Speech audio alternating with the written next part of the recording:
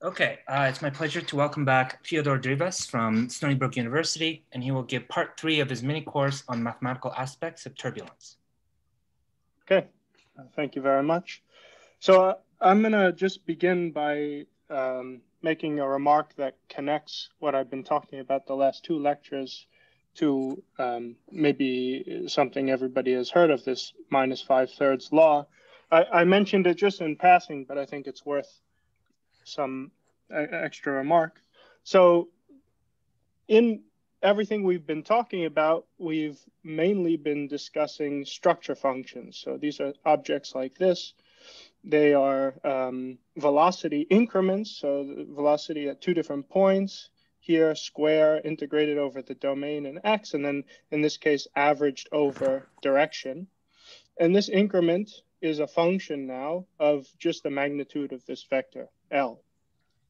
And in the inertial range of turbulence, as we've seen, this object has a certain scaling behavior, namely, it goes like a power law with a certain exponent, and empirically that exponent is close to two thirds. So here's a log plot. So a straight line on a log plot means that this thing goes like L to the two thirds.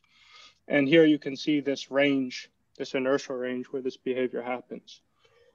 Now there's a frequency space analog of this. And this is the famous sort of energy spectrum. So here's one way you can define it. You just, the uh, energy spectrum is the sum over wave numbers and you fix a shell. So you're averaging over a shell. So this is the magnitude and here's this shell of P that has that magnitude of the Fourier transform um, at frequency K square.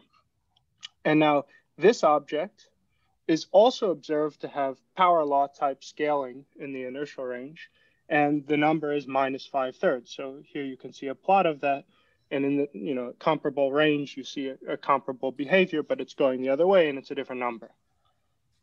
Okay, so there's a very simple relationship between these two things. Um, if you have this function, so so essentially these are related by a Fourier transform. And so if this function behaves like L to a given power, then the spectrum behaves like K to a complementary power, and the relationship is written there. Uh, the important case here is when this number S is equal to one third, so that this is two thirds. And then when you plug in, you find exactly minus five thirds. So that is to say, everything we've been talking about is actually directly related to what we've um, what you've heard about in terms of the Kolmogorov scaling.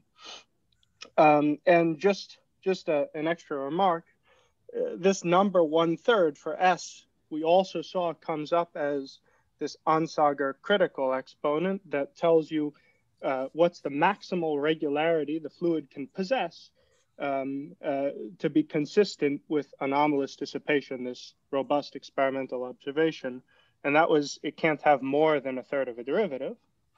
Um, and Kolmogorov 1941 theory essentially asserts that the number of derivatives you have in LP is independent of P. So that prediction at the level of the second, so Onsager precisely is for L3, if you measure the regularity in L3 sense, but this is a statement about L2 and Kolmogorov theory connects them. So the, the reason why Kolmogorov predicts two thirds for this object is really the same reason that Onsager predicted one third.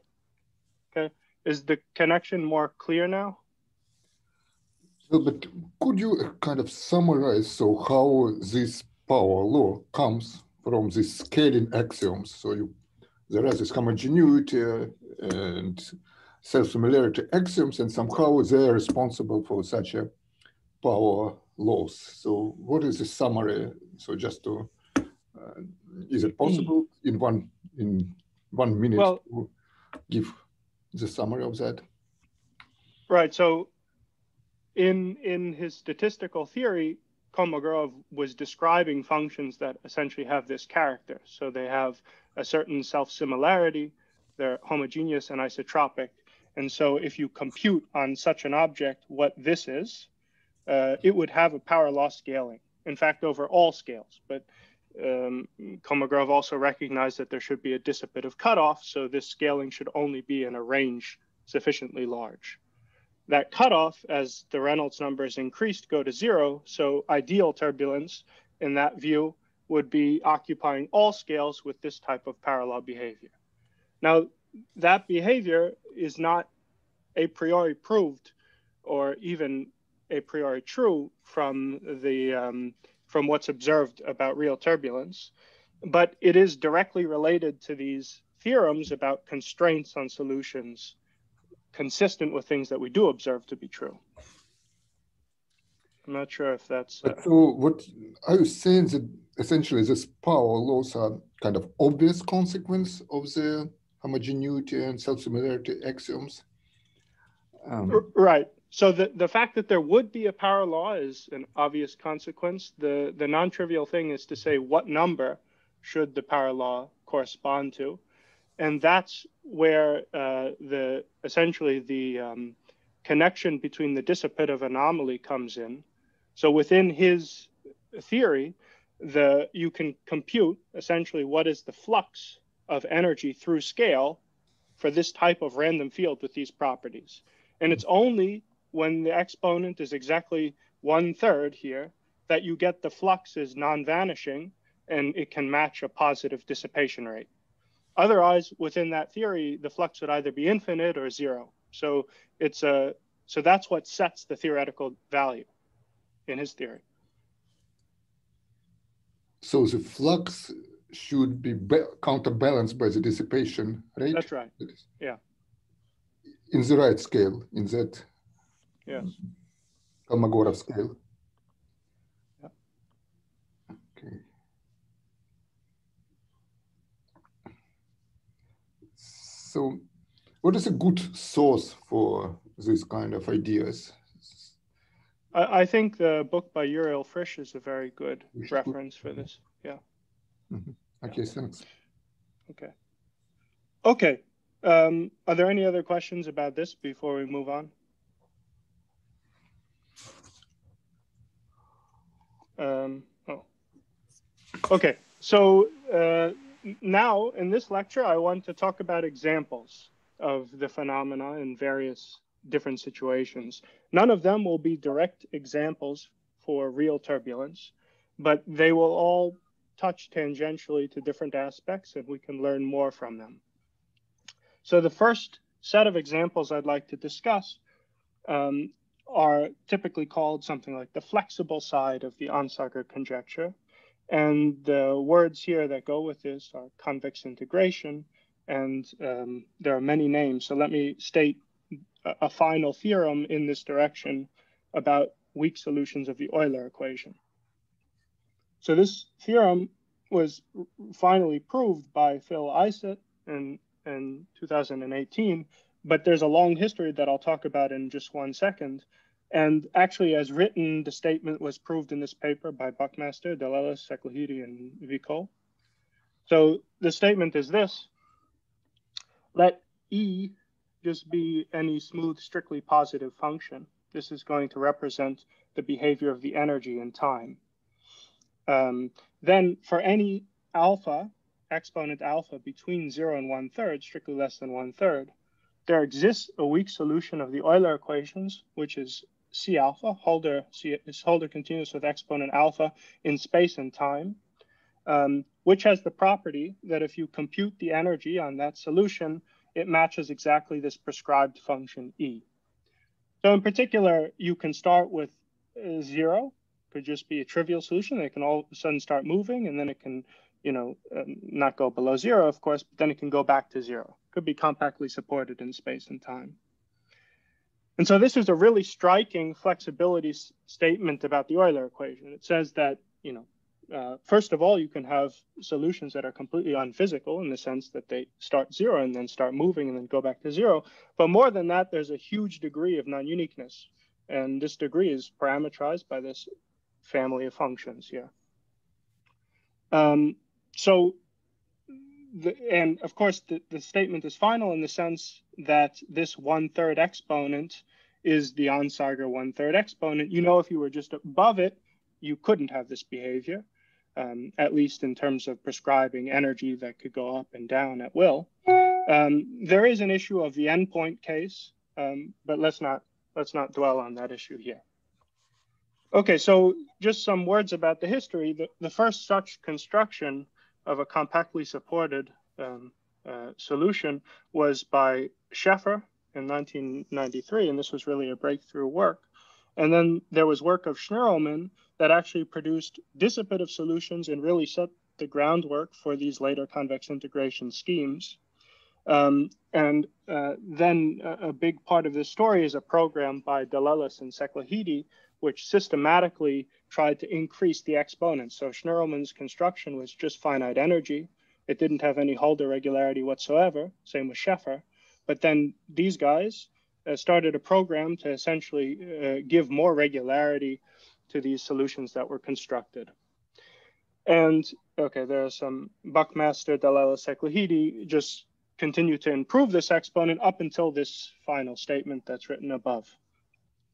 And so the idea behind these constructions are based on this Nash-Kuiper theorem and Gromov's H principle. And there are some really great reviews that discuss these connections at length. I'll just point to two. There's one by Buckmaster Vicol very recently, and then there's a, slightly older one, but very good by De Lellis and Székelyhidi. Um, okay, but in, in the next slide or two, I'd like to just give a very top level perspective of, of what goes into proving such a theorem and try to connect it with some ideas that may be similar to those in a normalization group. And this perspective, at least, I know it from um, some presentations of Uriel Frisch, who's thought about this more recently.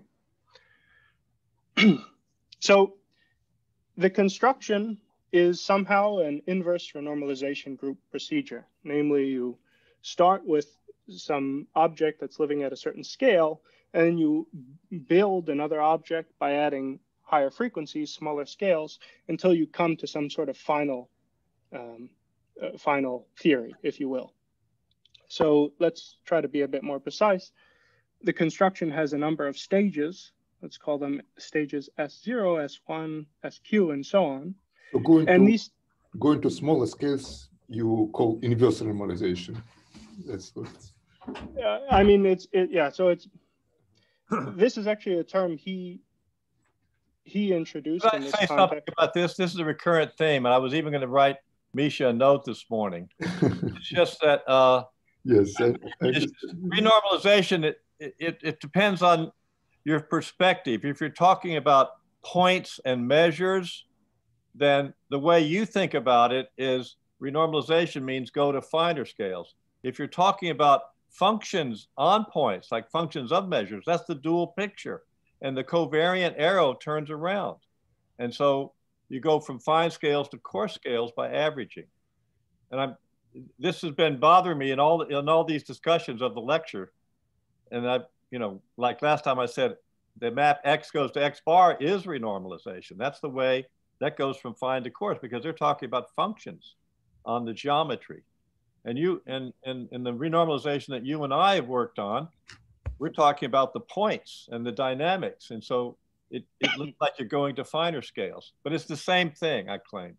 And that's been confusing me for a couple of years actually in, in something else I've been doing. Yeah. Okay. That's what I want to say that Okay, Dennis. Yeah. So you're checking that he's doing. I'm I'm checking. Yes. No, I'm, I'm aware. I, I claim that you're covariant and he's contravariant. That's all.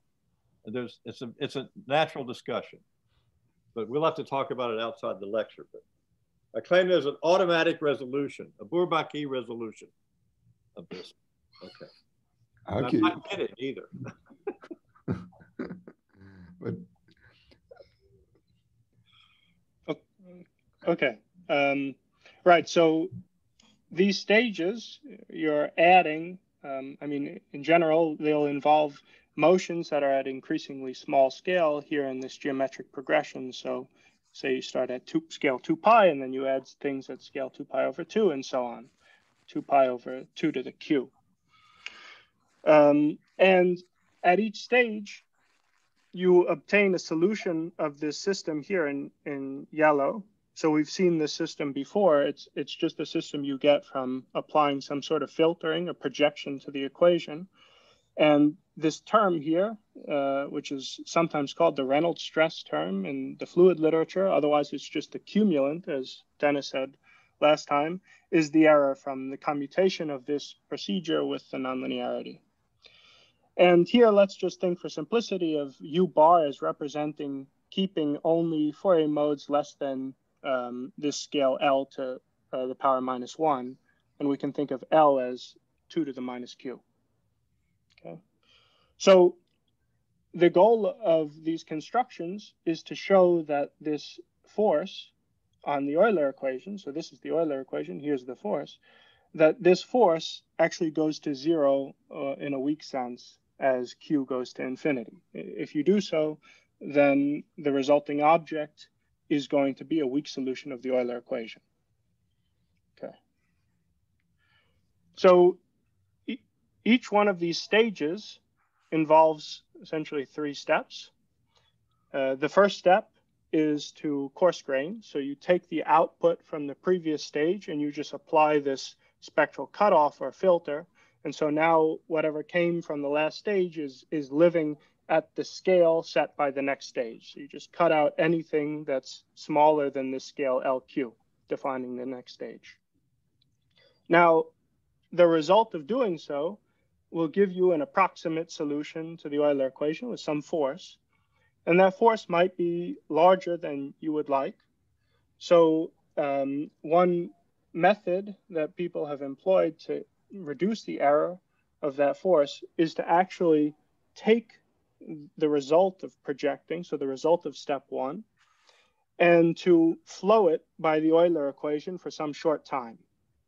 Okay, and if you flow it by the Euler equation, suddenly the the resulting thing is closer to being a solution of the of Euler.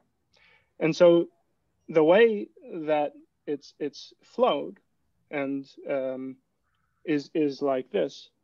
So you have an associated time scale to the spatial scale uh, uh, of motion at the step. So this L is going to be, again, like 2 to the minus Q is L. And there's also an associate, was there a question? No. Okay. There's also an associated fluctuation of the velocity, how much the velocity is varying at that scale. And I'm just going to call it delta U in these constructions, delta U is going to behave like L to some power H. H will be related to the Hölder exponent of the Euler solution in the limit. But at the moment, I'll keep it general. You just have this, which is dimensionally a time, and this time depends on which stage you are. Um, it's going to speed up as you go further into the stages. Okay. And now what you do is you take your interval 0t, where you want to construct the solution of the Euler equation, and you break it up into these times, and you evolve as a Cauchy problem. You, so you, you have, you know, you have from step one an object, you, you trace it at these times, and then you evolve backward and forward in time using the Euler dynamics um, and get some solution in this region here. And, and let's say this is like two thirds of the interval. So you go like two thirds and two thirds. Here you do the same, two thirds and two thirds. And you have this like uh, uh, overlapping cover of this interval zero t, which corresponds to where you're evolving from, from those uh, particular points in time. Now, there's this region of overlap. And in this region of overlap, you have to figure out a way to glue these things together to make as little error as possible so that you can actually achieve something that has a smaller force. And this is a big technical uh, difficulty. And there's many difficulties here, but this is schematically what what's going on in those steps. Excuse me. And, how do you yeah. evolve? Excuse me. Yeah. How do you evolve Euler's equation when you only have a Hölder velocity? Oh no, no. Everything is smooth at any given step. So remember, it's even filtered. It's projected. Um, so oh. the, the the limit is Hölder, but at each step it's like a C infinity thing. Okay. Yeah. But so uh, I, I don't understand. So you're gluing together two solutions of the equation to obtain again a solution of the equation. So somehow so yeah completely impossible. Oh no. so so essentially, um, you you are so on this interval zero to t. Step one gives you some object. Okay, it just gives you some velocity field on that interval. And now we want to improve that velocity field to make it closer to being a solution. And the idea in doing this is you divide that time interval time interval up into periods. And uh, so, at these uh, I see. So what? you go from scales to scale. So so you give a, you make approximation at certain scale and then you glue with approximation in the next scale or some, something like that. we go to the next scale. That yeah, is, so time scale. Approximation, it's a construction. It's a construction, yeah. Which has a so, yeah. Yeah. It, it, in, so essentially in these overlap, okay, in these overlap regions, um, you know, if you evolve backwards from here, you get one thing. If you evolve forwards from here, you get something else. But in these overlap regions, you want to somehow find the right interpolant to go continuously from you know, smoothly from here to there and make as little error as possible. So in, in evolving in these regions, you, you, you help to re reduce the error. But then there's this issue about the overlap, and that's something you have to deal with in the construction. That's what the gluing, okay? Um, and then finally, there's uh, the, the most important step in this construction, which is to add uh, small scale perturbation. So you've done this, you've done this um, time evolution and gluing, you've reduced the error in doing so. And now you want to reduce the error even more by adding um, uh, uh, some building block type objects to uh, the result of step two that are designed to cancel uh, as much of the remaining force as you can. So a big part of um, these constructions is finding the right building blocks uh, to both reduce the stress, so to be able to reduce the stress, make the force smaller, and simultaneously to be easy enough to work with and controllable so that you don't introduce many other errors when you when you put them into the solution. And so uh, a big um, a, a big uh, breakthrough in this was the use of what are called Mikado flows. These are like little pipes, and the, the velocity is just in the direction here, and it's compactly supported to the blue region. And you can put them so that they don't intersect in 3D, and you have some kind of network like this. And they're, you know, you can basically they generate a stress so that when you plug them in, you can design them by changing their amplitudes to cancel whatever your, your previous error was from the, the last step to some approximation. I mean, you can't do it exactly. And um, um, basically making sure this whole thing converges and you get a weak solution in the limit and balancing everything so that you keep some regularity is is the the whole game in this type of analysis. Okay. Yeah, are those are those uh, literally just shear flows? Yeah, I mean they're, they're, they're like little tiny pipe flows. Yeah, in here they're like shear flows in there, inside the pipe. Okay, so um, just some remarks. Uh, this procedure is highly under constrained. There's a lot of arbitrariness in what you do. And this is actually the reason why you can, first of all, prescribe whatever energy profile you like. Um, um, and also the reason why at each step it's, it's easy to do the construction. Um, and uh, okay, each the iteration process introduced these high wave number oscillations to cancel the old stress. I, I said that. And the difficulty is, again, choosing the right perturbations to add so that you don't introduce uncontrollable errors. And this is, I think, one of the major technical difficulties in doing what I've described. Now, just some re remarks about the solutions you get. So the solutions are what you would call monofractal in the sense that the velocity has just one Holder exponent through the domain h, and that number can be just less than one third. So from a certain point of view, they have Kolmogorov-like behavior. So the the regularity if you measure an NELP for those solutions is essentially a third. And I say Kolmogorov-like behavior because Holder exponent. Oh, I, so I think last time in the lecture, uh, there was this point that was mentioned that the Holder exponent could depend on where you are in space and time. And that, that type of spottiness was called intermittency, is related to intermittency. And that's not true of these constructions. Yeah, but what's the precise statement here? Uh, quantum fractal. What does it mean? So okay, let's just let's just say like this: that if you measure how many derivative has in NELP, uh, that number is the same. It's it's one third and not better. Okay. So I, I say Kolmogorov like spectra because actually in constructing these solutions, you introduce frequencies at this geometric progression of wave numbers.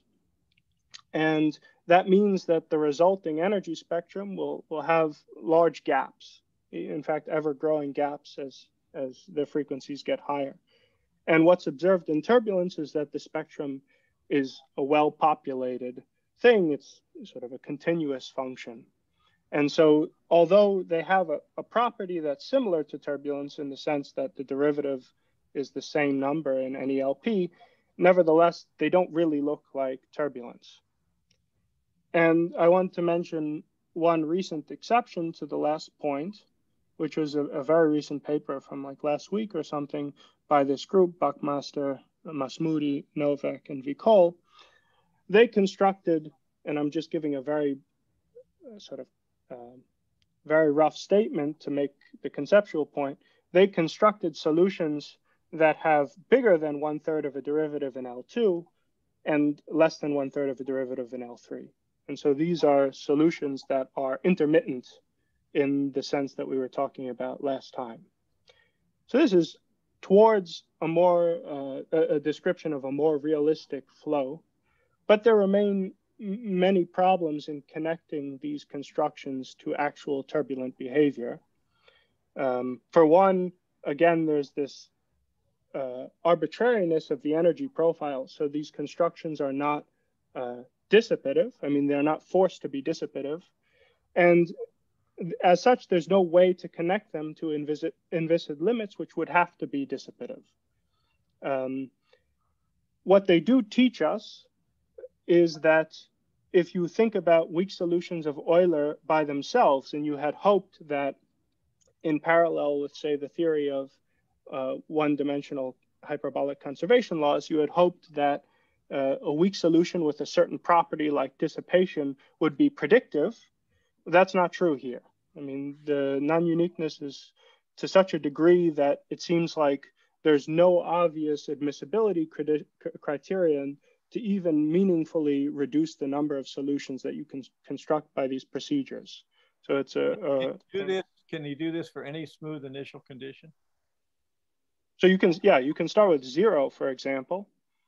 Um, and okay, I don't, any smooth initial condition, I'm, I'm not 100% sure. There are probably people in the audience who would be able to answer that. But you, for example, you can start with zero and, and perfectly smooth and nice and then go to something like this holder one third at time one. Yeah, but I, I that's that's not what I want to know. I want to know. See, it. I mean, it sounds like if you could do this with any initial condition, you could start saying, take these solutions for all time, which are have great, you know, positive number of derivatives in L3. Then in particular, they're in L3. Then you can start adding a little diffusion term to get the Navier-Stokes equation and you would get a theorem that says for small viscosity, you have unique solutions for Navier-Stokes, smooth solutions. Because as soon as you're in one third with a little bit of viscosity, you have long time existence and it's of strong solutions. Uh, so maybe we can talk more about that later. I'm not sure I really understand, but maybe let's talk about that afterwards. Okay. Okay, so now I want to talk about models that do include uh, viscosity. And there are two types of models that I'll talk about. One is the Burgers equation, which is a nonlinear equation, and the next is going to be a linear model of motion of dye in a given velocity field. So the Burgers equation is actually a compressible model. It's in one dimension, and um, it was introduced at first by Burgers as a toy model for understanding uh, Navier-Stokes at small viscosity. And so here it's it's written without any forcing. It's just the same type of fluid nonlinearity we've seen before, and uh, Laplacian type dissipation.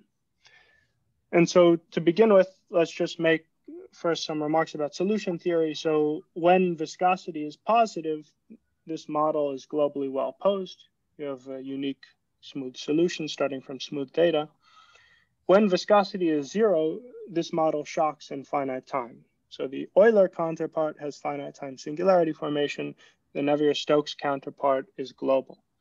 And you've probably all seen what solutions to this equation look like. So you might start with something like a sinusoidal type profile.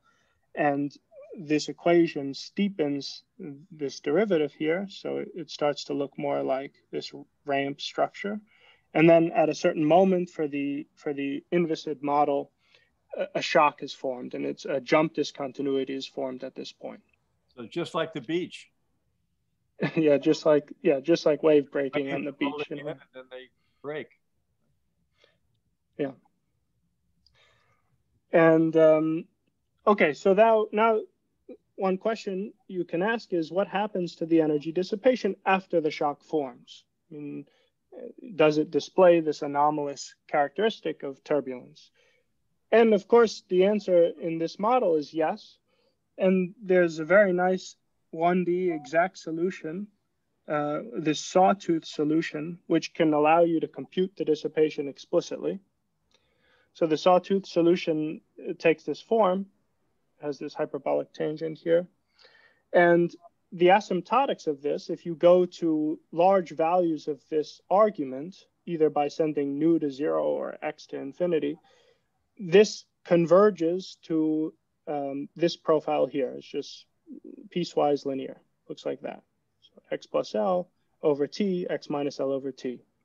Okay, and there is a singularity at time zero, but you, that's not a that's not a, an important point. You can start at time slightly later than zero. So this is an analytical solution of the nonlinear Burgers equation, and it displays a shock in the inviscid limit. As you send viscosity to zero, you just have a shock sitting at zero for all time. And so along this limit, you can compute the dissipation due to viscosity. Let's call that epsilon. And this, from this formula, just takes this form here. Okay. And so what we learn from that form is that if you if you if you imagine at some finite viscosity the sawtooth solution looks like this. Here's the velocity. The dissipation is a very well localized uh, thing right in a neighborhood of where the shock is going to form. And in the limit, as viscosity goes to zero, it actually converges in the sense of distributions to a Dirac delta sitting at zero with an amplitude which is delta u cubed divided by one uh, divided by 12. Okay, so there is anomalous dissipation in this model. And in fact, it has this cubic form, as it must, from this nonlinear flux. In this case, the cubic form is very simple because the nonlinear flux happens at one point and its strength is just related to this jump discontinuity of the limiting shock.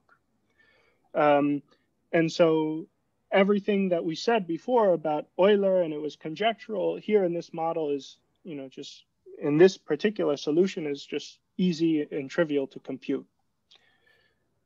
Now, a couple of remarks about this behavior.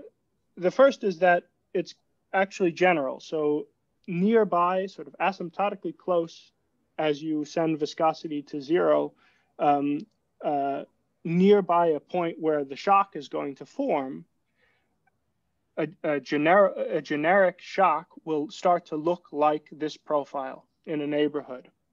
Again, in the limit as viscosity goes to zero. So in fact, this is what happens. And more than that, what you have is convergence in this inviscid limit towards a weak solution, but this weak solution is also what's known as an entropy solution. So the energy is being dissipated, and that energy is related to an entropy flux pair of this equation as a hyperbolic conservation law in 1D. So this is an entropy solution of the equation, and you have uniqueness of entropy solutions. So you have that, first of all, those solutions are necessarily dissipative, and they can exist, they exist globally in time for the Burgers equation, and they just lose energy. Okay. So can you yeah. Uh, define an entropy solution again?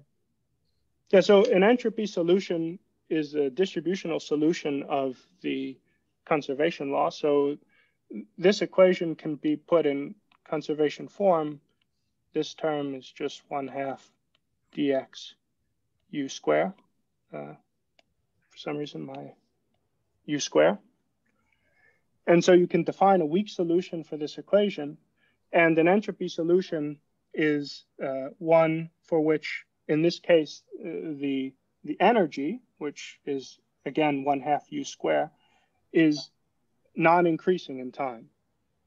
So that is known for this equation to be a uniqueness criteria. In fact, it follows from a general theory of equations of the form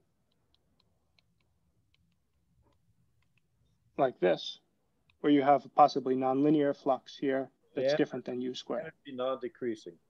Energy is non non-increasing. Non-increasing. Uh, so, yeah. Yeah. But yeah. Okay. So we can actually learn much more from Burgers, even these simple examples, uh, about intermittency and how we could think about that. So first of all, if you have countably many shocks, and they're exhibiting these jump discontinuities along the shock uh, at the shock points, the solutions, these entropy solutions, live in this space. So what this is saying is that, first of all, uniformly in time, they're bounded and they're also bounded variation. Okay. And being bounded in bounded variation actually means that you, in LP, you have one over P derivatives it's very easy to see that this is true of a general function in this class. Um, this is but, one dimension, right? In, in yeah, this is yeah, this is in this is in one dimension. And in fact, for the actual Burger solutions, you can show that they're also not better than it's exactly they have exactly this behavior. So we'll see that right here. Um, so the example from the previous page, the entropy solution looked like this. It had a shock at x equals zero and is just piecewise linear.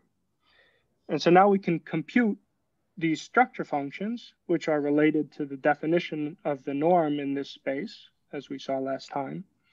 So we compute these structure functions by integrating over space the increments. And just using this exact formula, you can perform this integral if there's a single shock. Okay, and if there are multiple, then you can do it in a similar manner. Um, but if there's just a single shock for simplicity, uh, you perform this integral and you and you find that um, you, you this is this is inequality. And now, as you send the scale L to zero, you see that there's uh, two different regimes of behavior. So either um, either this dominates which is the case when p is less than one. So here there's a fixed L. So so so basically this is linear uh, L, and this is L to the power p, and this is not going to zero. This is like going to 2L over t. So either when p is less than one, this part dominates and this is subdominant, or when p is bigger than one, this goes to zero faster, and this is what's dominating the behavior at L goes to zero. So you have these two behaviors. Either it looks like this, or it looks like this, and the prefactor is something like this, okay, if you just introduce what the velocity jump is. So what that says is that if you measure how many derivatives it has, well, it's what I said above, but if let's just plot it in in uh, let's plot this exponent, which is the exponent for this thing. So this is L, L to the zeta p. Let's plot this exponent, which is given here, on the same plot that we had before for the Kolmogorov theory and from the data. So recall that Kolmogorov for, for Navier-Stokes predicted that the behavior would be a straight line with p over 3. Okay. Now for Burgers, we see um, a straight line behavior up to p equals 1. And then from p equals 1, this exponent is just unity for all p. It intersects the Kolmogorov theory at p equals 3. So this should be actually right here. This is p equals 3, which is that privileged exponent related to the flux of energy through scale. So p equals 3 is actually fixed to be 1 by uh, the analog of the Kolmogorov four-fifths law for Burgers that just says that the nonlinear flux has to match the dissipation due to viscosity, which is non-vanishing. So for Burgers, you can actually show that's the reason why this is fixed at one. Um, this, but the point is the same in all dimensions then, right? For Burgers. Yeah, so for Burgers in higher dimensions, um, it's it's a slightly separate discussion. So usually you study that for uh, irrotational solutions of Burgers in higher dimensions. Um, and I think there, yeah, it's the same point. Um, that's um, the same. No, I, am just saying because we have p equals three. You were talking about p equals three in three dimensions also. Yeah, yeah, that's that's right. Yeah. So p equals three. That point is the same in all dimensions. However, um, well, this is a bit of a technical point, but to relate that flux directly to this space here is something that can be done in one dimension, but it can't be precisely done in higher dimensions. So there's a slight disconnect between the four-fifths law and saying that you have exactly one-third derivative in L3.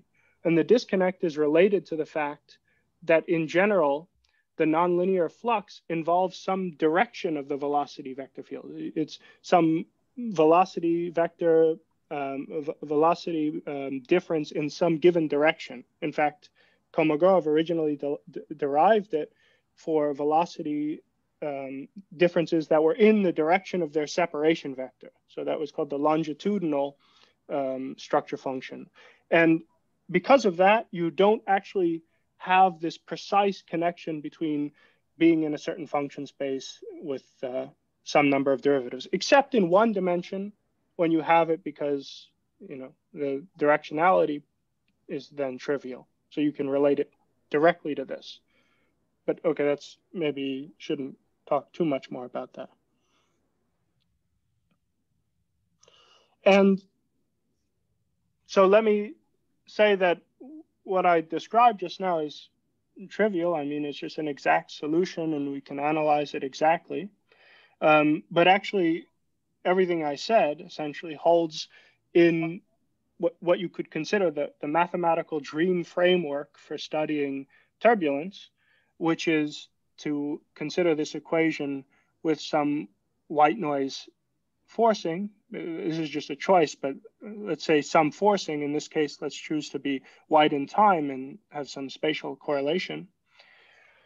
Then works by Weinan Uh, Khanin, Mazel, and Sinai um, in late 90s, early 2000s, they show that there's a unique invariant measure which is supported on entropic shock solutions of the inviscid Burgers equation and that the invariant measures of the corresponding viscous equation converge to those invariant measures. And you have all these features, anomalous dissipation and intermittency can be understood in this statistical framework here, which is, you know, what you would love to show um, in the Navier-Stokes equations, for example, governing hydrodynamic turbulence. Okay, and I'll just point to this really nice review on the subject, talks all about different aspects of the Burgers equation, and um, th there's been a, a, lot of work there. I can't hope to uh, really describe it all. Okay. Are there any questions about this? So would you say that we should expect this picture for the Navier-Stokes, even though you can't, it's beyond out of reach to prove it, but uh, with this dream picture. Um, that the en entropic Yeah. similarities, uh, can, you know, control the structure sort of. I, I guess in some ways, yes. In other ways, no. Certainly, one thing that I expect to be different about Navier-Stokes. Tell me what's Berger- the same. I don't care what's different. I want to know what's the same So I conjecturally. I want to learn. conjecturally, yeah. So conjecturally, I, I guess I, I I I think that some of this picture, namely some invariant measure on weak solutions of Euler, might. I mean,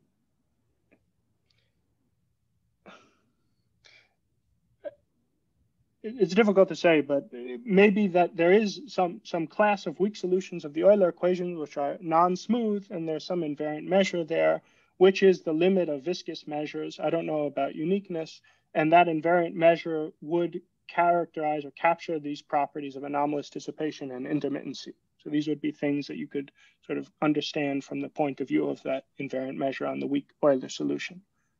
It could be completely wrong. There are certainly some indications that Burgers is very different than Euler. One is to do with Well, wait, wait, wait, wait, wait. I don't want to hear that. I don't want to hear that. I want to summarize what you said might be the same.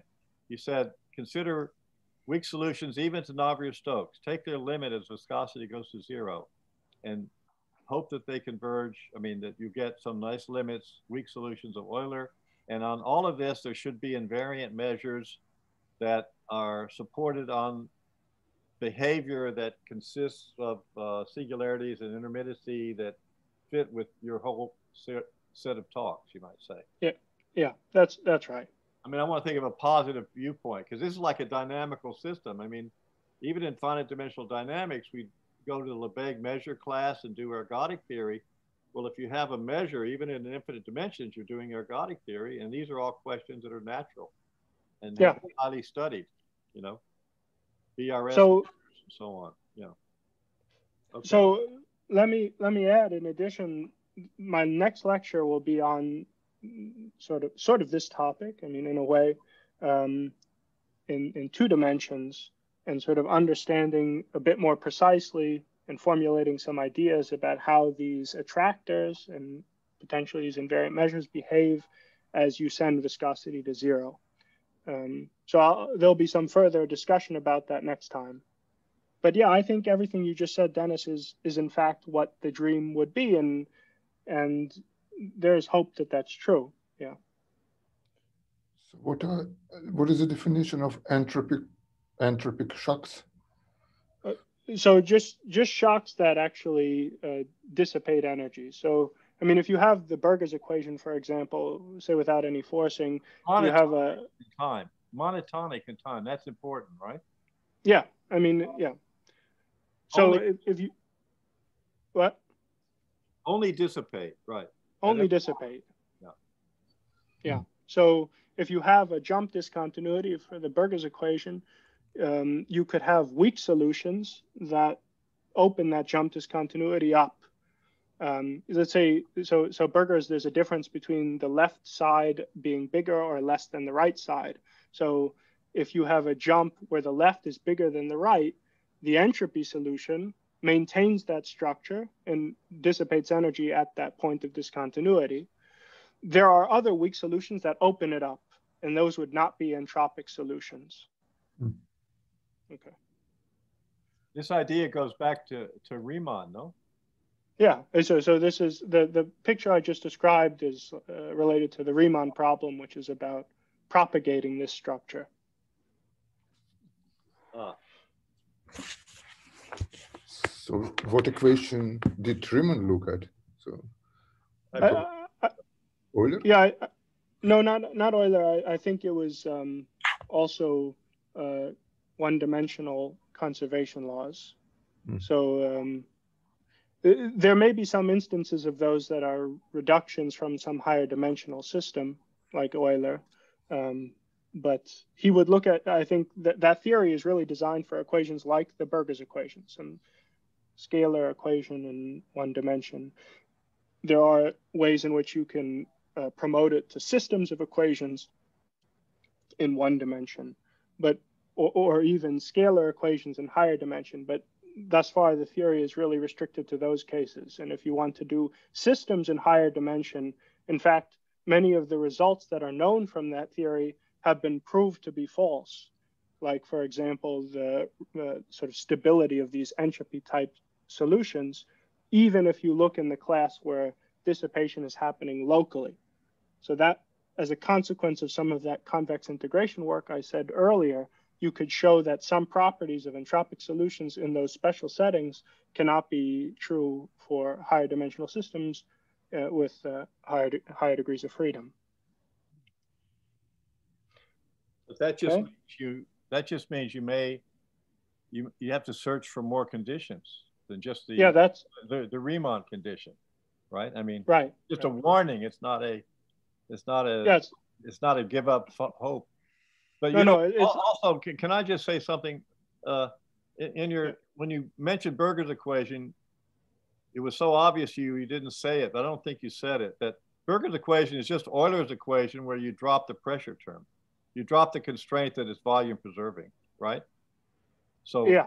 So I mean, so Misha, I mean, you are studying something derived in a simple way from Euler by dropping a constraint except that and and in in one dimension Euler's equation doesn't is collapses is too trivial as it you know.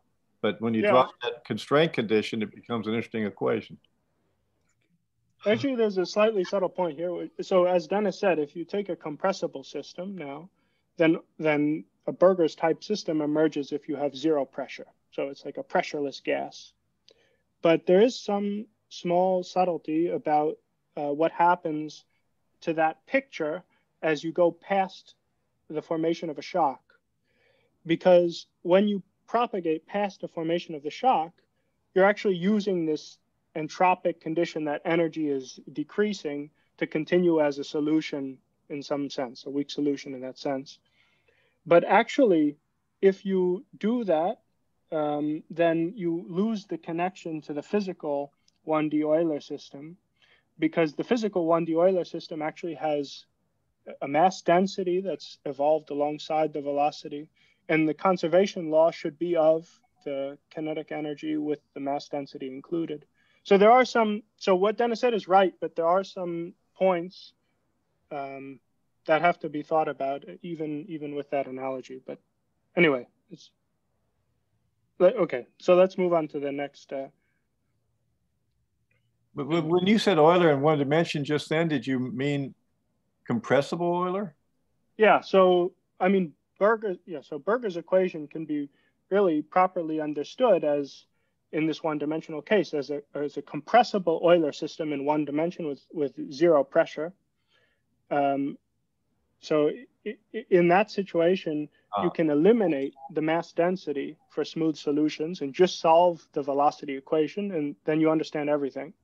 And what I'm saying is that when a shock forms in the velocity, you really can't forget about the density. So you, you, if you want to interpret it as some weak solution of the original compressible Euler system with zero pressure, you, you have to re-include the density in your understanding. But that's okay. But that's a completely different point. Okay, so the next class of models that I want to talk about are passive scalars. So passive scalar is uh, denoted by theta here, and it's just a, a scalar field on uh, the space, which is being pushed around by some given velocity field u, and it's being dissipated by this, this is the thermal diffusivity kappa. This velocity field, I'll consider it to be incompressible in keeping with pretty much everything else I discussed except for the Burger's equation. Um, and okay, we consider the Cauchy problem with say mean zero data. Now, what, what is object, it, what is described? What is described by these equations? Oh yeah, so okay, so this describes the motion of like temperature, a temperature field, or dye by an incompressible oh. medium. Oh, I see.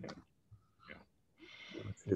Um, and a direct consequence of the equations of motion is that the scalar fluctuations or the scalar energy, energy just the L2 norm of the scalar can I, field. Can I say, can I say, this is again, you sort of always use these phrases that are so well known in your field, you don't say what they mean.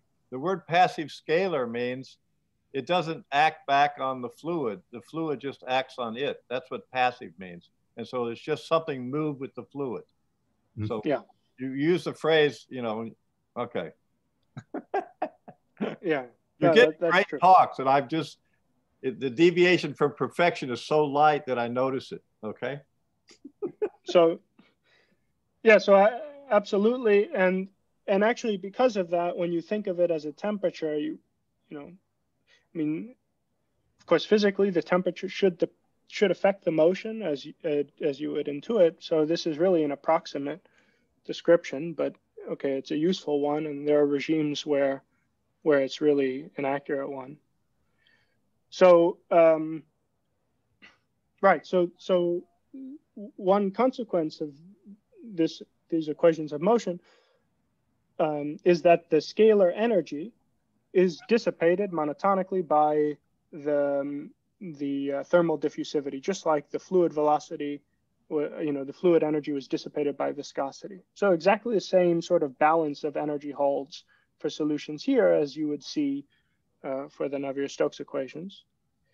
And this is an obvious point, but I'll say it. I mean, even though the velocity doesn't directly appear in this balance, um, it has an awful lot to do with what, what's actually going on in this balance.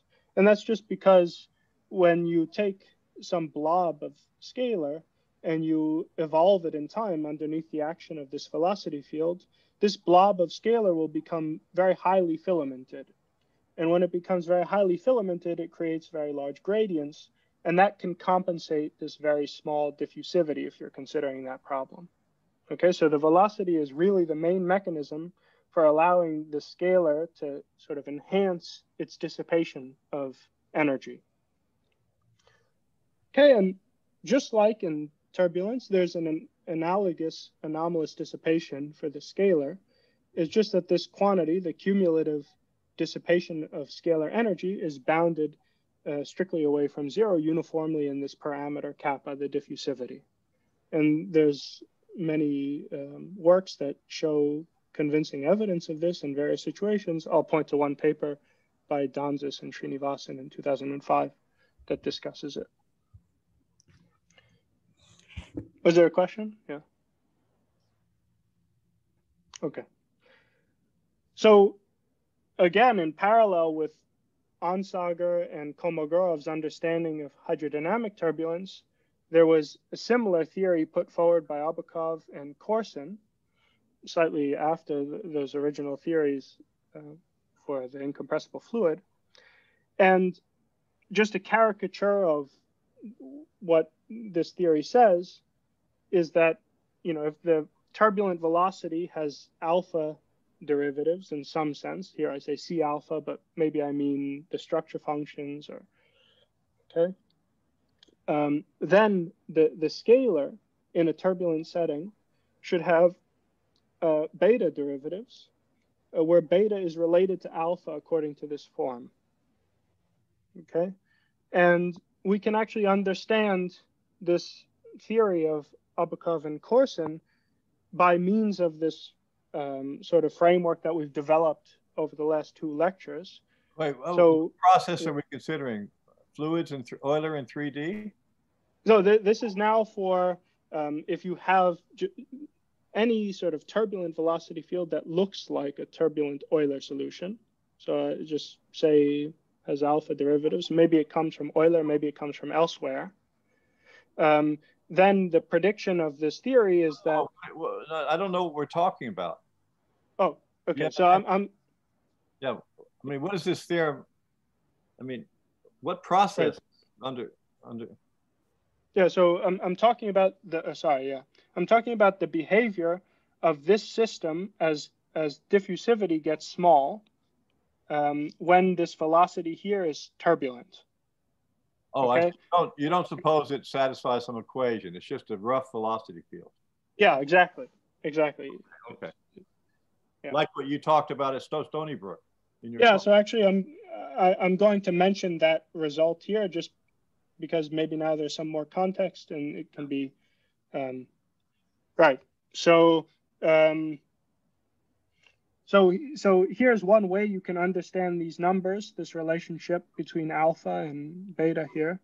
Um, if you have a velocity field that has alpha derivatives, okay, and it's incompressible, um, and you have a family of uh, solutions of that passive scalar problem just being moved by the velocity and also dissipated by kappa, which is uniformly bounded in a space that contains that, that, that has beta derivatives, okay, then this dissipation is bounded by some polynomial or some power of kappa, uh, the, the thermal diffusivity, and this power is related to the number of derivatives the velocity has and the number of de the derivatives that the scalar has, like this. So in particular, if this beta were bigger than the number of Obukhov Obukhov Corrsin theory, then this would necessarily go to zero.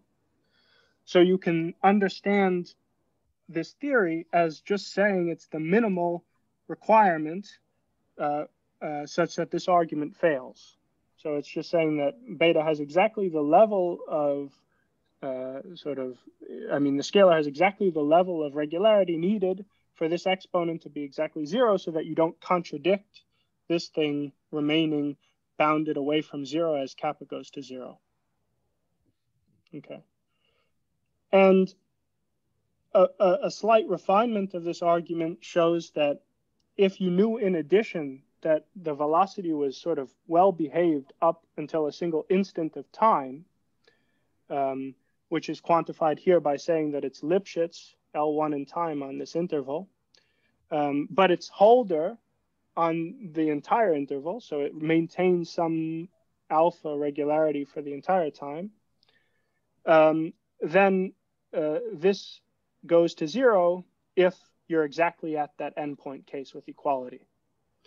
So in this setting, the Obukhov-Corrsin theory would correspond to taking beta just less than 1, plus, 1 minus alpha over 2, not equal.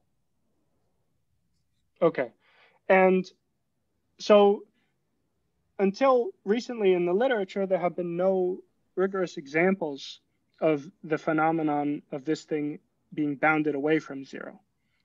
Okay, there, have been no examples of that, um, at least in a deterministic setting.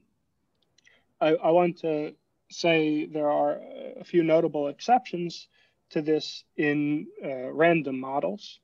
So one very famous model where a lot of amazing results have been produced is the Kraichnan model, which is one where the velocity field that's advecting the scalar is actually a Gaussian random field, and its white noise correlated in time, and its spatial covariance is such that um, it, it, sort of looks ideally turbulent with an inertial range, sort of a range where it's non-smooth that extends all the way down to zero length scale.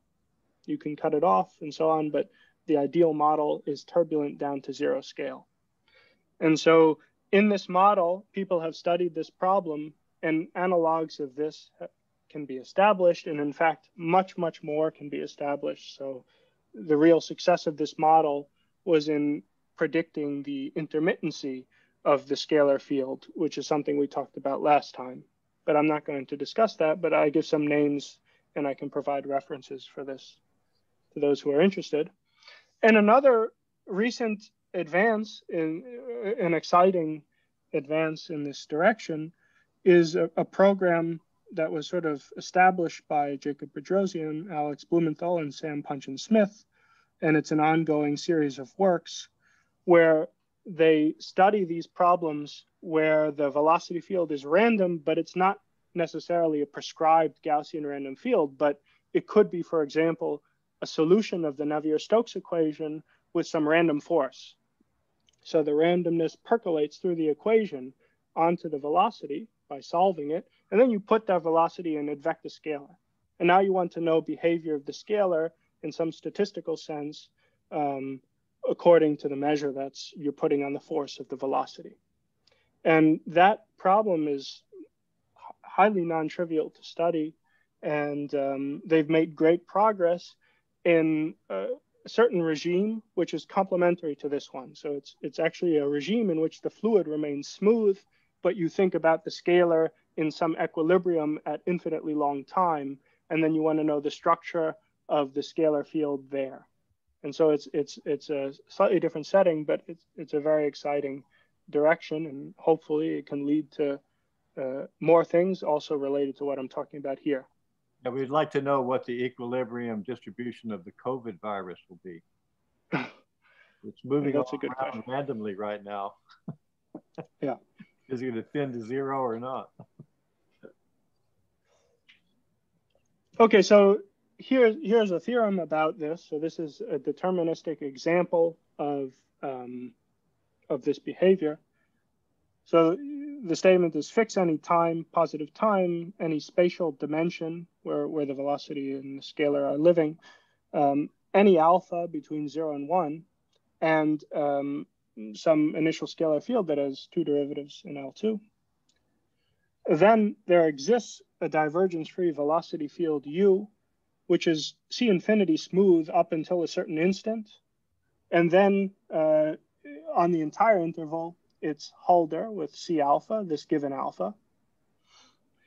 And moreover, it's such that the scalar energy remains bounded strictly away from zero by some number chi, and chi depends on the initial data for the scalar and the Hölder regularity of the velocity. Okay, so it's just an example showing that what we said may happen for Navier-Stokes actually does happen, at least for this constructed velocity field in the passive scalar problem. Okay, and I think actually uh, I was thinking about reviewing uh, uh, the proof here, but maybe I think in a few weeks there's a conference, so maybe I'll talk more about this there.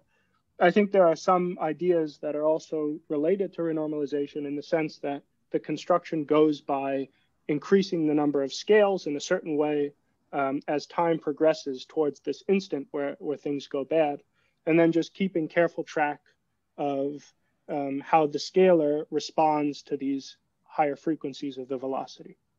So I'm, I'm going to skip the discussion now, and I can talk more about it in, in that and actually people from Stony Brook may have already heard heard about it. So,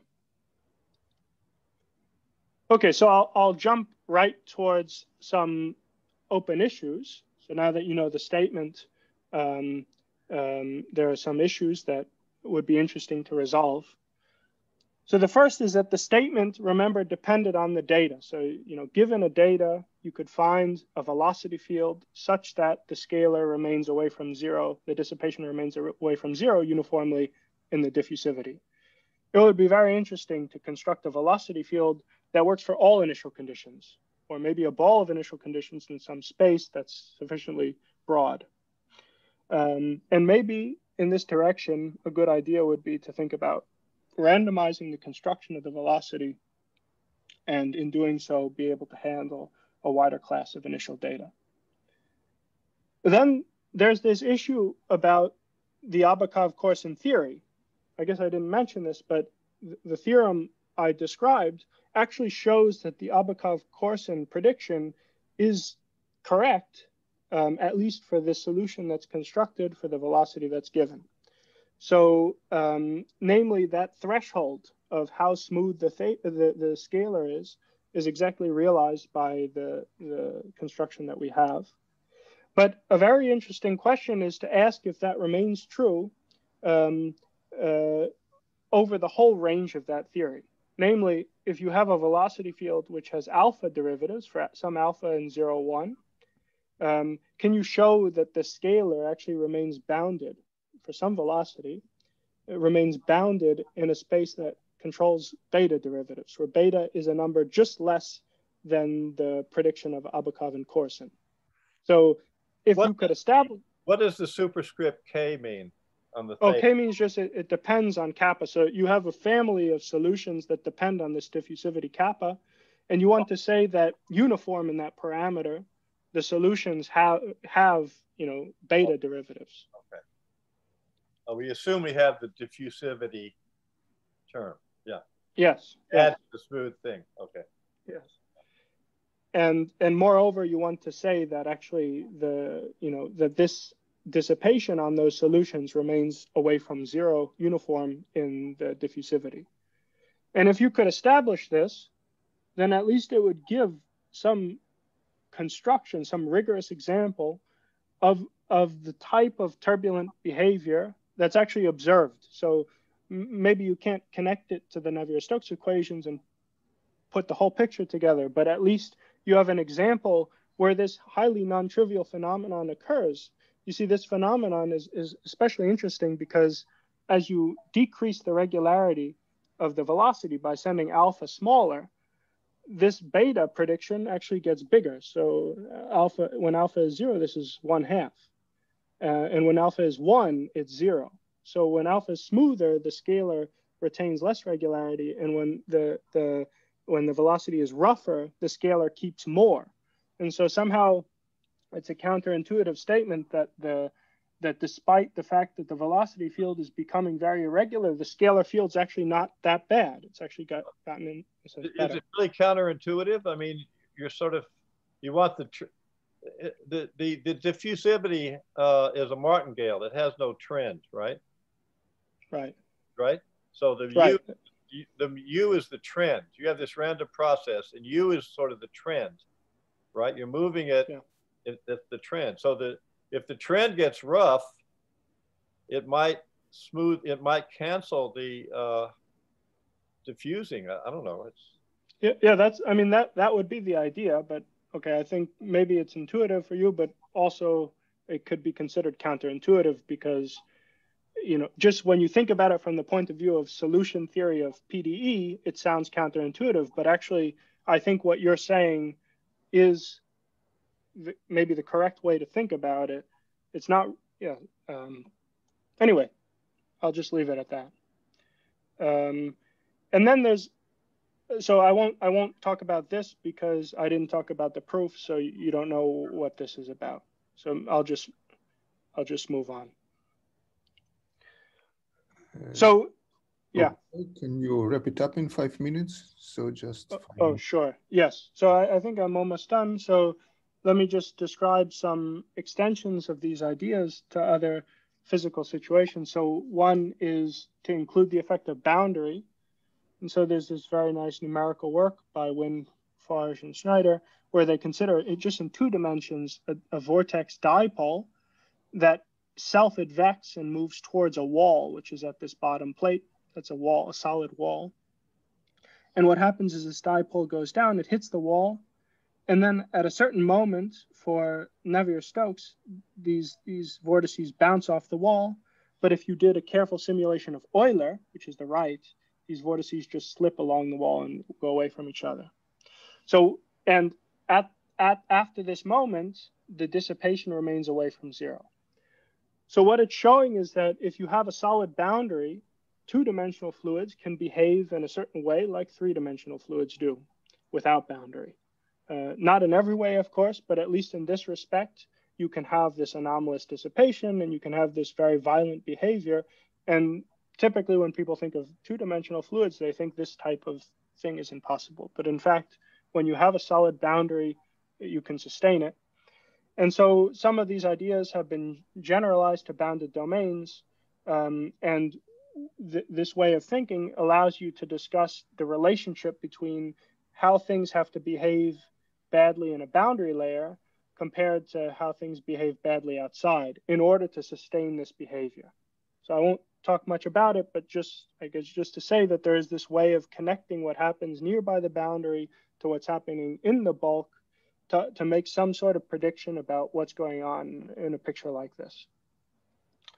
Um, another issue that's related to this is just in general, can you identify some physical mechanisms that can suppress the type of behaviors we've been talking about, this anomalous dissipation, these singularities emerging? And this is of great value to, to, to pursuits like engineering, where if you have a pipe and you're transporting oil, you want to reduce the drag um, so that you can more economically transport the oil from point A to point B. And so, because of that, engineers have thought about this problem long and hard, and they've they've sort of established two separate mechanisms, at least two, that are observed to do this. So one of them is to add trace amounts of polymer to the fluid. And here's the picture. If you have water without the polymer, the same same pressure force between these two, same same imposed force. The water goes here. With the polymer, it goes there. So you apply the same force, it goes much further. That's reducing the drag. And another one is rough walls. And there's some similar effects there. This one is, both of them are not very well understood. There's some work I, I did with a PhD student at Princeton, Junhyun La, which provides a model for this behavior where you can actually prove that it happens if you account for the polymer just near the boundary and not in the bulk. So that's a piece of the story, but not not what's going on here completely. And then this rough wall, there, there are works by actually many authors, but typically it's only near very special flows, some special shear flows where you can say something precise, but there's no general picture of why, why drag reduction can happen. Okay, in the, in the remaining minute or something, I want to describe just one more phenomenon that's related. This is, I think, a very interesting thing. When you have a rough velocity field, as we've seen emerges at high Reynolds number, it has many consequences. And one of the consequences it has is on, say, the motion of particles that are displaced within that velocity field. And actually, Richardson, a meteorologist, in 1926 did some experimental measurements of I think balloons in the atmosphere, and he came up with some prediction for how nearby particles should disperse. His prediction was that if you have two particles that are close in a turbulent flow, and you look at their mean squared dispersion, you square their difference and average over, say, the domain, um, then this should behave like epsilon, the energy dissipation rate of the fluid, times t cubed. And here's some more modern numerical co confirmation of this effect. You can just see this is the epsilon t cubed line. And these are just particles that start at different initial separations and looking at their mean square dispersion, you see at longer times they all bend over to this behavior. Now, the, the crucial point about this behavior is that on the right-hand side, there's no knowledge of how far the particles were at the initial time. And in fact, that's what, what's reflected here these different initial separations all lead to the same behavior at a later time. And that's striking because the prediction is that as you increase the Reynolds number, you could take the particles closer and closer, and they would still disperse to the same distance according to this law. So it's actually related to the fact that if you have a non-smooth velocity field, trajectories in it don't have to be unique. And just to connect it, let's just have a toy picture of the Kolmogorov velocity as behaving exactly like L to the one third.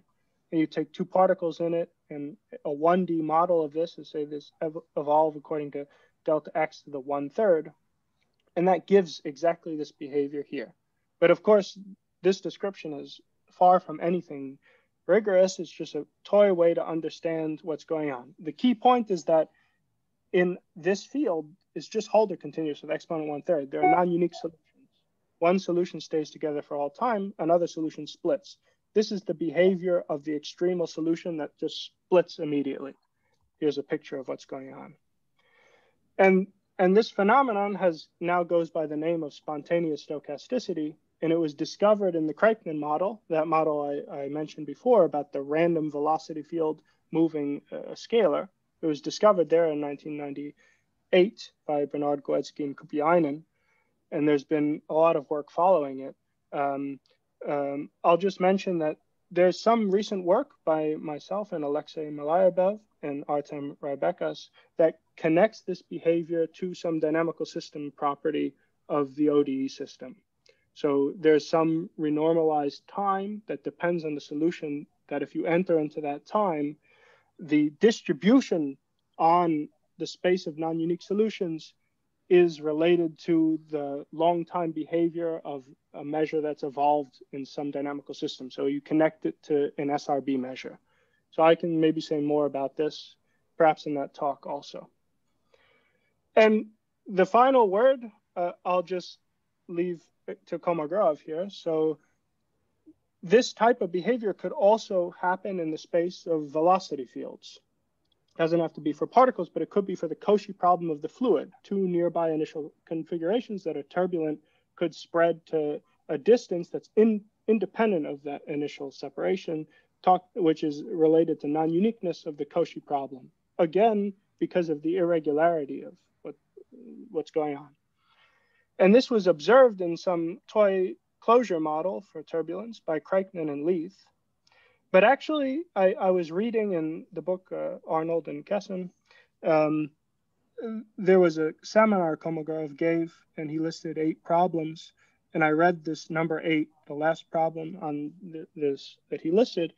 And he says that one should think about considering the conjecture that in the situation of five, and five is about studying uh, small viscosity problems. So essentially everything we've been talking about, if you have a small parameter in front, front of the Laplacian, those type of singular limits, that was five, deterministic singular limit.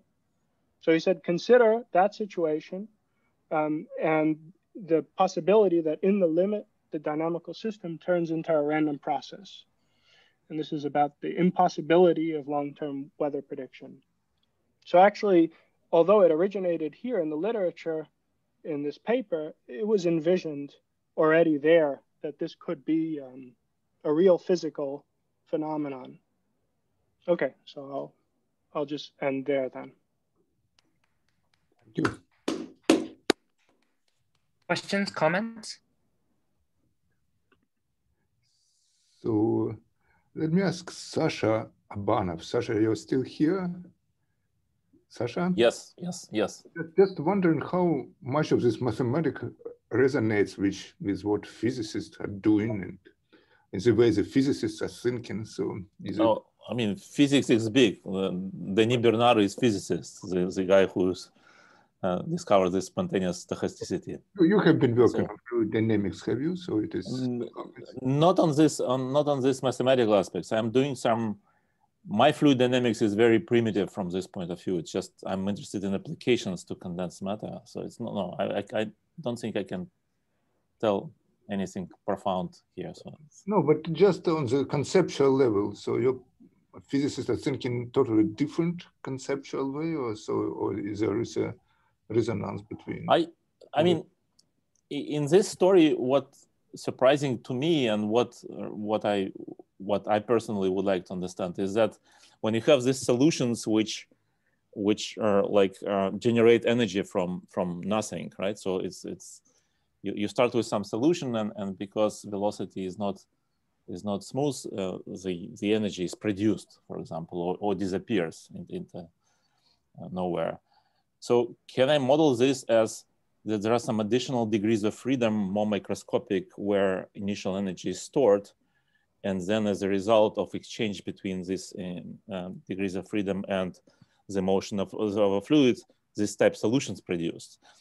So can it be that these unphysical solutions which do not conserve energy are actually physical obtained in some limit where there is some another storage of energy at microscopic level, which we do not see in this um, rough description, which is just fluid dynamics Euler equations. That's, that would be interesting constructions for me, uh, but, but I, I don't know any examples of those.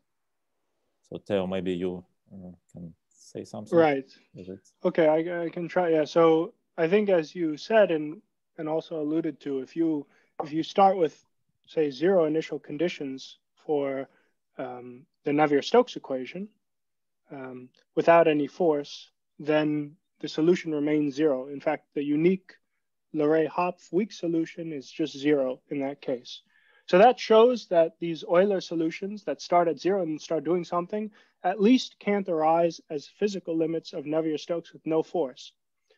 On the other hand, they do arise, you can think of them as arising as solutions of the incompressible Euler equation when you add a very small scale force or high frequency force.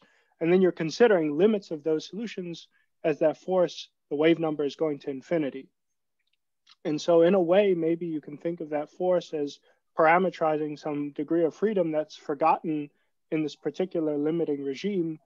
And maybe then solutions could be thought of as physical if there were really a limiting regime that you could think of them like that. Now, I, I don't know. I mean, I, I, I don't, uh, I don't know. I think maybe Sasha Shnirelman, he would have much better uh, feeling about that. That's my answer, though. Could I could I make a comment on this on the exchange you just had? Because let, let me just this is a complimentary remark about Sasha. I've been thinking about this problem for 25 years. And I'm one day in the office with Sasha, and he he he's, he said the sentence now that you you missed, you didn't pick up on, that he said to me, and which actually, and, and it doesn't affect the correctness or incorrectness of your remark, but it gives a sort of poetic and physical feeling to it. See that mathematicians never think of the still fluid they think of it as zero. But Sasha doesn't think of it that way. He thinks of that still fluid is at the molecular level has a huge amount of energy, random energy moving around. It's available. And he just mentioned when he asked his question to you, he said, Can you think of some extra degrees of freedom that explains this apparent production of energy as being, well, the energy is actually stored at the molecular level at the finer scales in the physical reality. And it, for some reason, it's allowed to appear out of nowhere. And you gave an answer. You said, well, imagine you put in a mathematical force with high frequencies. But it's actually this process, which is always out of the mathematical discussion, which gives a huge opportunity for intuition.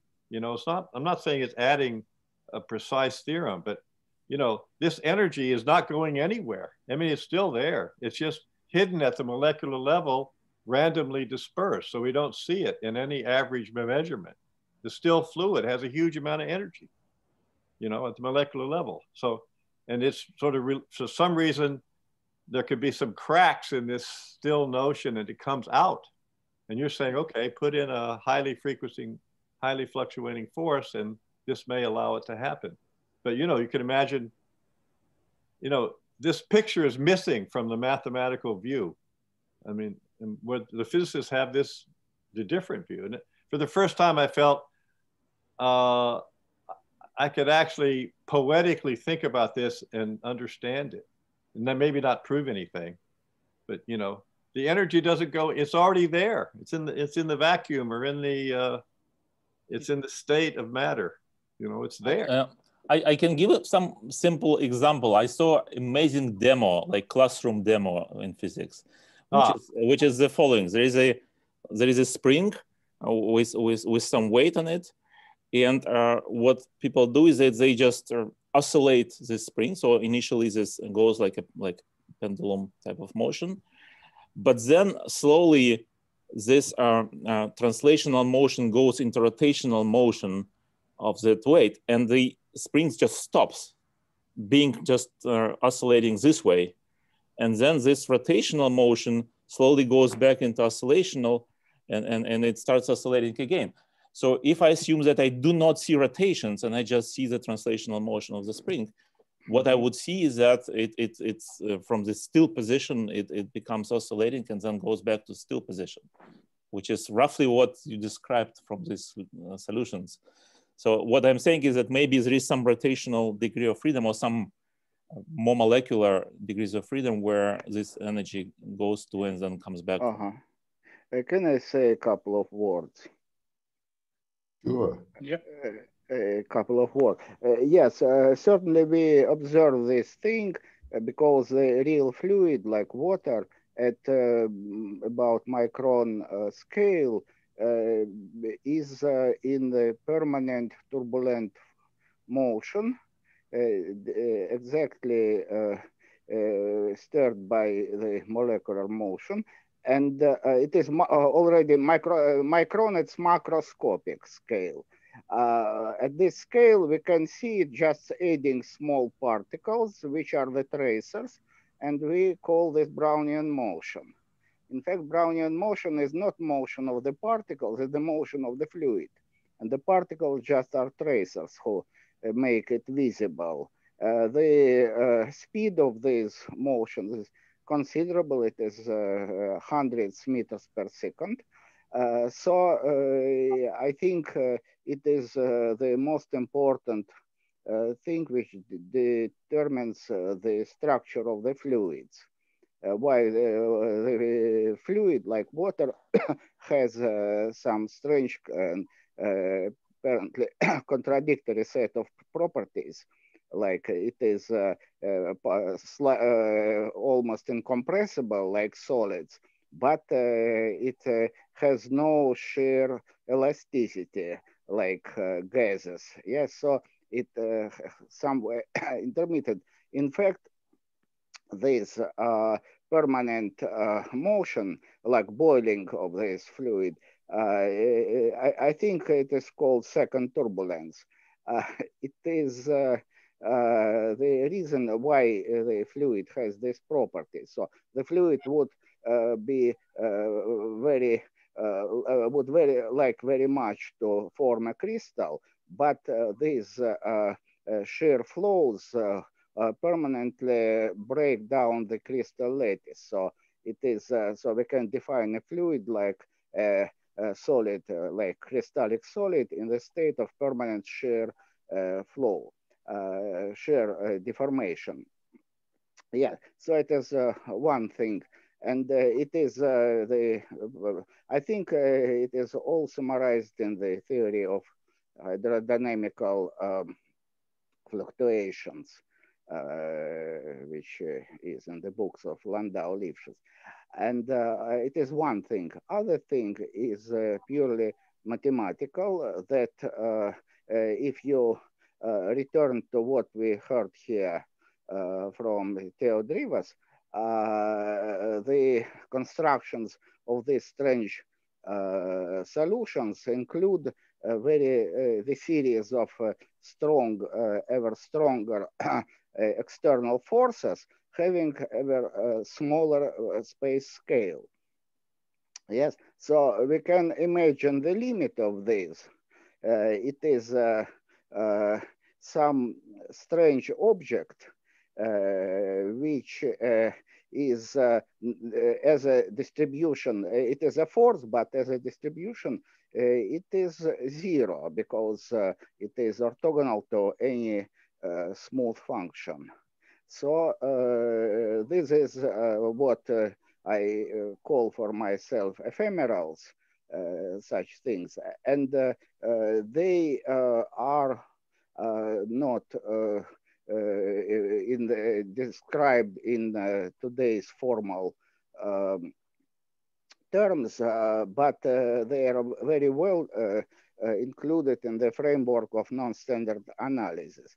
So we can see these examples as uh, materialization of uh, non-standard analysis, which uh, where the forces are non-standard, purely non-standard, but result in uh, quite uh, uh, material motions of the fluid. And Sasha, you are right that here, of course, we have some additional invisible forces in all cases. so it is no break of materialism, but it is, these forces are invisible uh, because they are uh, have zero scale. So they are uh, orthogonal to any sensors, any linear sensors. Yeah, that's it.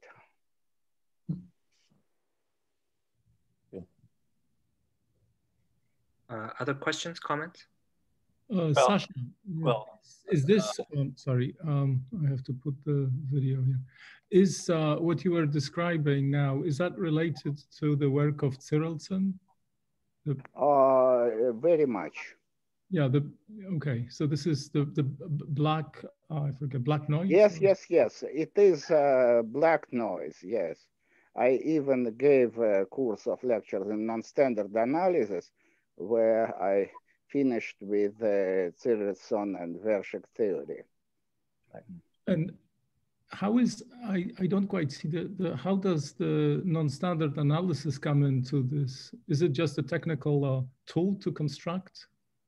Uh, you know what, uh, we consider a formal limit of these uh, forces uh, depending on uh, parameter on the number of octave k, uh, Uh, when, uh, uh, when k goes to infinity, it does not exist in real, any real sense, but it exists in non-standard analysis. It can be take, given um, meaning to this limit. Uh, because uh, uh, we can regard non-standard analysis as maximally strong uh, set of, li uh, of limit passages. Uh, so eh, eh, no, as a, a very weak example is the Banach limit.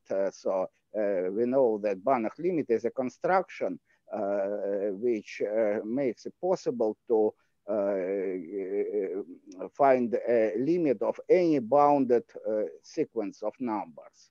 So uh, if you uh, consider any bounded sequence, the uh, Banach limit gives you a uniquely defined function. No, it was uniquely defined, but its definition includes infinitely many arbitrary elements. Uh, so to some extent, non-standard analysis is uh, far uh, development of such constructions like Banach limit. And uh, in particular, we can uh, define the limit of these uh, object, these forces, which becomes more and more small scale, and mm, we can work with them. Mm, uh, uh, that's it. And uh, if we include them from the beginning, the situation becomes more clear. Mm, uh, uh, uh, yes. Other questions, comments? Yeah, well,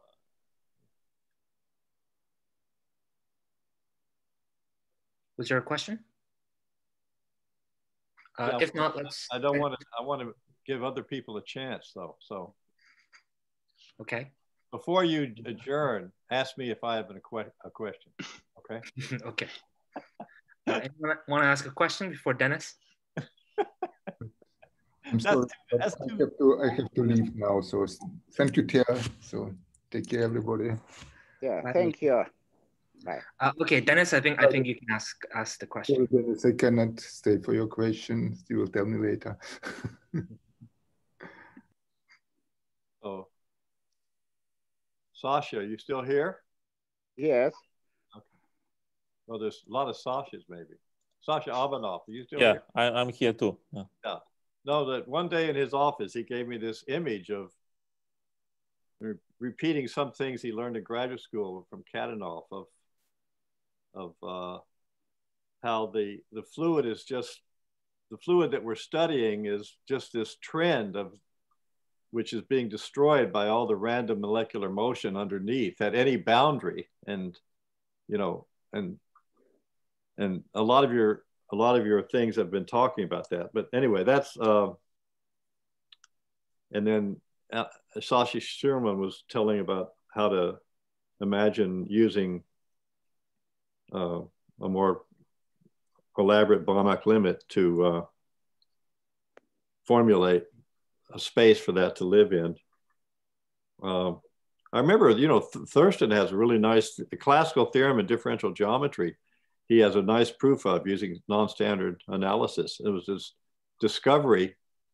Uh, anyway, but you know, there's sometimes if you look at things a certain way, there's something beyond the way you're looking at it that's still there, and you can extract something out.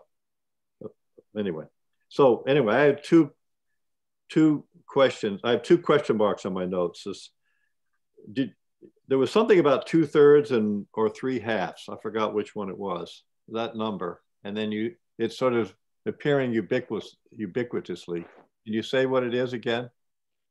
Yeah, that two thirds is the, um, the um, that wrong?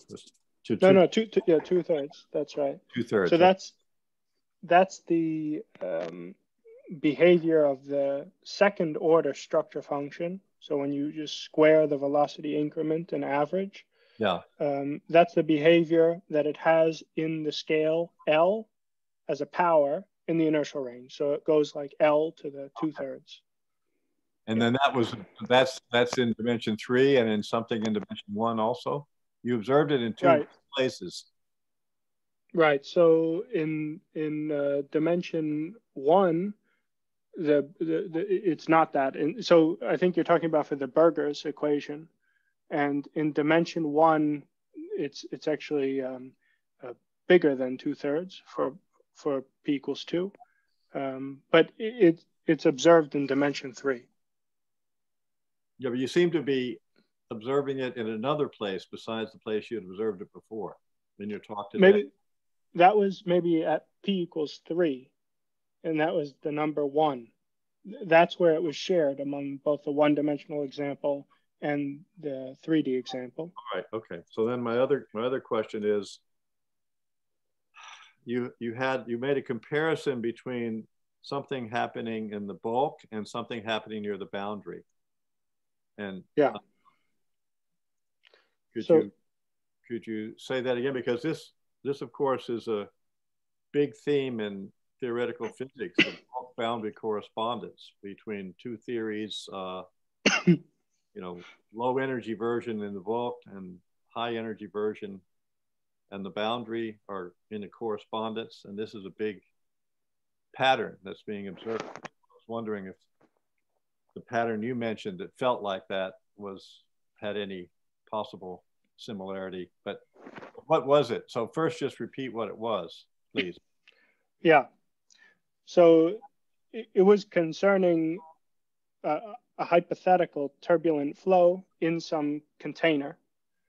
And the, the distinction between the bulk and the boundary was really in the definition or the extent of a certain layer, which is some width, is some you know some region close to the boundary within a certain distance. And the statement was that if the fluid behaves a certain way in a bulk in the bulk, then the size of that layer where the dissipation could take place depends on sort of the smoothness in the bulk in some way. And so you can relate. So if, if you take smaller, as your fund smaller as the roughness increases, or what? What way does it go? Yes, it's smaller as the roughness increases. Uh, or, sorry, um, the, the reverse. Um, it's larger as the roughness increases. Oh, it's larger if the roughness increases. The boundary. Yeah. Oh, of course. Okay. Yeah. All right. Okay. Yeah. And there's actually a there's a physical theory by Blasius, which predicts that essentially the, the dissipation of the fluid actually goes to zero in a certain layer around the boundary, but in the bulk it's non-zero. And the status of these things is, you know, something that's not co completely clear, but but he has a theory that says that, and the the width of the boundary layer in his theory is actually just the Kolmogorov scale. So it's like the viscosity to the three fourths. Roughly, it behaves like that. And so there's what, this picture that I'm, three and two, three with two dimensional, three three dimensional bulk.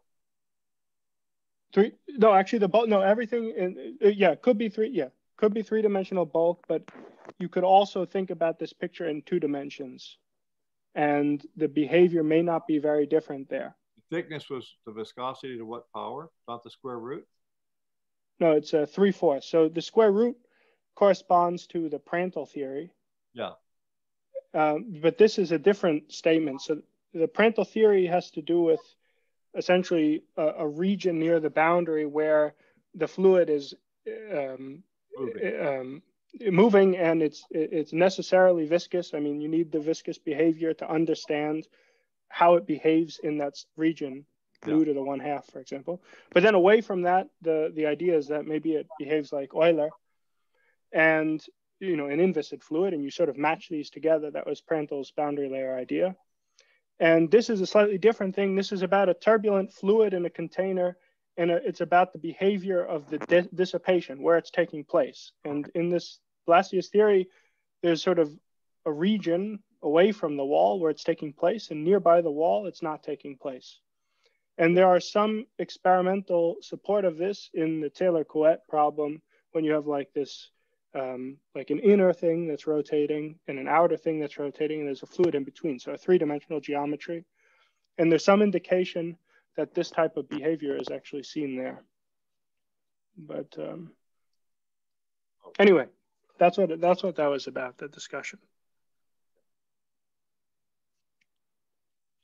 And that that has uh, the exponent three fourths. Yeah, the Kolmogorov scale is the exponent of three fourths, and it's related there.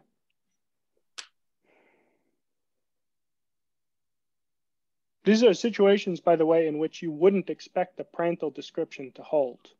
Yeah. Yeah.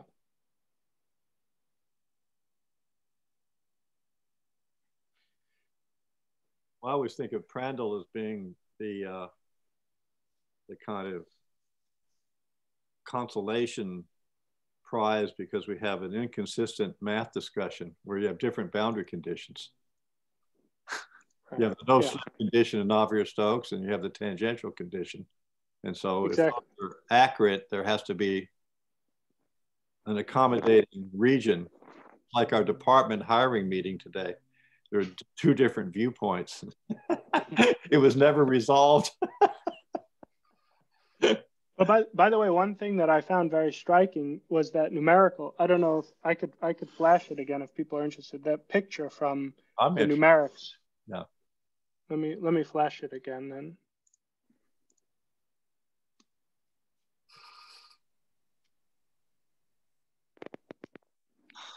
So there's this picture here, um, which is just in two dimensions. So this behavior without boundary in two dimensions couldn't happen. But what, what you see is this very smooth vortex dipole exhibiting extremely singular behavior because of interaction with the boundary.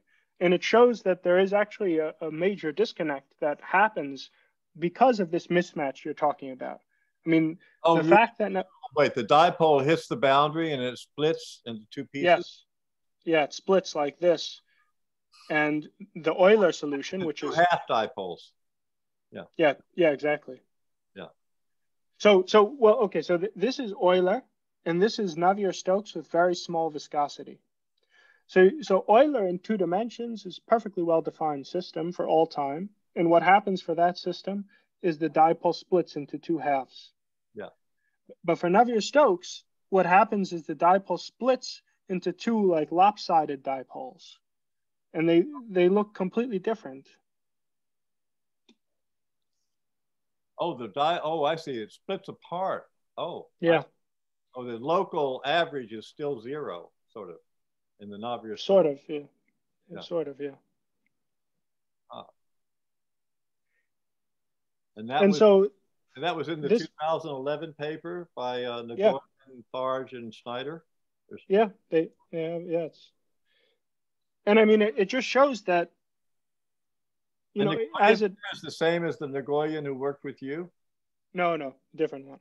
Okay, different one. Um, so it just shows that um, in this case, Euler. I mean, if you if you think of the physical system as being governed by some slightly viscous flow, even though there's well posedness on both sides of the aisle here, there's no there's no difference in terms of the solution theory in a way the, the actual behavior of the solutions is highly sensitive to the small viscosity. And in fact, there's no correspondence between Navier-Stokes and Euler after a given time. Now, it could be the case that this is still described by a weak solution of Euler, which is singular.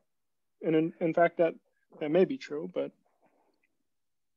That's true because the it's weakly zero if you have a very crude measurement because the average is zero there. Yeah, maybe these filaments are, yeah, maybe they, yes, it could be. Yeah, but, but, here it's not weakly zero. So there's not a weak limit. No, but it, see, there, there could be many weak solutions of Euler that differ from this strong solution um, if, they, if they're less regular. Oh. So, as so essentially what I'm saying is that maybe this inviscid limit behavior is actually landing on some other weak solution of Euler that's doing something very different than this classical one. Um, sorry to interject, but the tech guys are asking me if they can stop oh. the recording. So no, well, stop, we, stop recording, but don't turn it